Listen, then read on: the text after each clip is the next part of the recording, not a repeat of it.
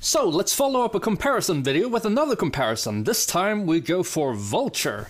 And uh, this is the Toy Biz Vulture from way back in the day, and I think he came in a Sinister 6 box set. So for a very long time he was the only like good 6 inch scale Vulture there was, and he was also pretty expensive, but nowadays I think he's dropped in price because this guy came out, and this is the Hasbro uh, I, I don't know the series, but it's really new, uh, Vulture. So um, yeah, let's take a look at them. So starting with the head sculpts, the Toy Biz one opts for almost like a caricature. It's this is basically what a vulture would look like if it was magically turned human. Like you see the long nose, um, evil eyebrows, the very sly grin he's got going on, which I'm quite a big fan of. The eyes are painted really nicely. He's got liver spots all over the place, and um, I mean, if you th- look at this guy, you would go, "Oh, he sort of looks like a vulture." Meanwhile, this guy is an old man with a crooked nose, but it's still a really, really good-looking head sculpt. Like he's very very expressive. Like you can, he's also got these really expressive hands, so you can make him like all grabby, flying up towards you, like I'm going to take your soul. Um, and uh, it's also one of the better paint jobs I've seen on a Marvel Legends that isn't uh, their um, photoreal tech. So as for for the head sculpt, which one is better? It's sort of up to preference. I do really love this one, to be honest, but I feel like this one says vulture a little bit more. After this comparison is over, I will try to do a head swap. Well, I will. I'm gonna have to modify it to um, make it properly fit. So um, don't go anywhere if you look forward to that. Anyway, for the rest of the body, this one keeps with the whole vulture motif a bit more. Like you see the hunchback. Uh, this collar is also a lot more detailed. It actually looks like feathers. This one looks like whipped cream. I, I don't know. Uh, sculpt work on this, all these lines sculpted in. Meanwhile, on the Hasbro one, they're all just painted in and they just fade away as we get to um, like the lower section.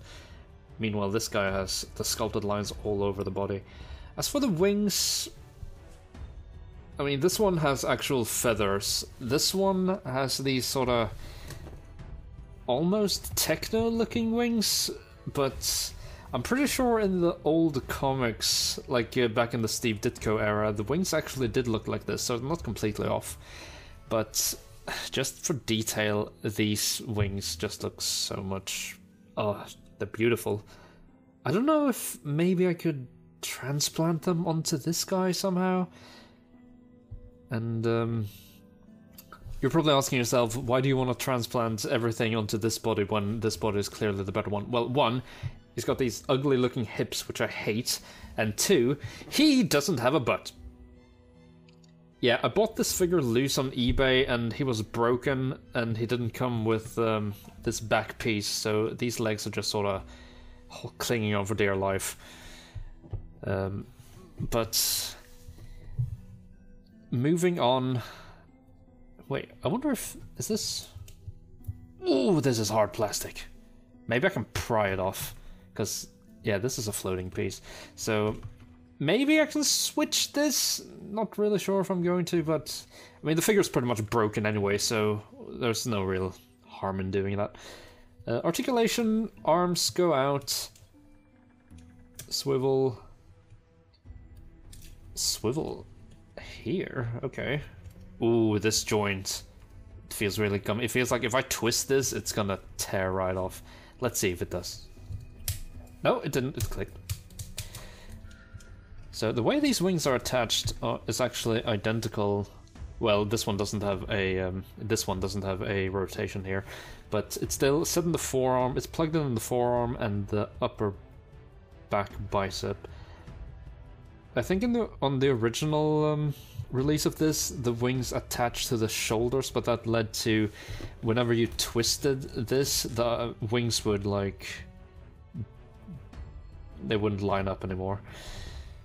Um, what else? This one has 90 degree elbows, and this one has double jointed elbows. But then you break up the wings, so I guess he doesn't really need more than 90 because otherwise it sort of looks a bit dumb. I'm seriously contemplating just gluing the. Yeah, uh, Like I said, I'm seriously contemplating just gluing these guys in, and I put it in the wrong way. There we go. Because uh, they just keep falling off. There's a really nice little gradient paintwork here as well. I mean, this one, look, it's lime green, and then it looks like they just threw a brown wash on for some reason. I think some gradient would be nicer.